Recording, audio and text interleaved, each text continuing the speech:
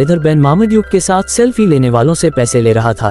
इसके पिता कहते हैं, बेन से कि कब तक मामद्यूक के नाम पे पैसे लोगे? तो बेन अपने पिता को पैसे दिखाता है और 50-50 का ऑफ़र देता है तो बेन के पिता मान जाते हैं। सीन शिफ्ट होता है और हमें ट्रेनर दिखाया जाता है, जो बेन के पिता से मिलने आया था। ट्रेनर कहता है कि, मैं मामद्यूक को ट्रेन करके वर्ल्ड चैंपियन बनाना चाहता हूँ। तो बेन के पिता मना कर देते हैं। लेकिन जब ट्रेनर वन मिलियन डॉलर का बताते हैं कि जितने वाले डॉग को प्राइज मनी मिलेगी तो बेन के पिता झट से मान जाते हैं। बेन मामद्यूक और इनकी बिल्ली एक गेम खेलते हैं। इनको ये गेम बहुत पसंद होती है, जो ये हर रोज खेलते हैं। इसके बाद मामद्यूक को ट्रेनर ट्रेन करने ले जाता है और मामद्यूक के नाम का जो टैग लगा होता है उसे निकाल देता है और कहता है, अब तुम मामद्यूक नहीं, अब सिर्फ़ तुम एक साधारण से डॉग हो। तुम अपनी सारी पुरानी हरकतें छोड़ दो। अगर तुम्हें नाम वापस चाहिए तो तुम मेहनत करो।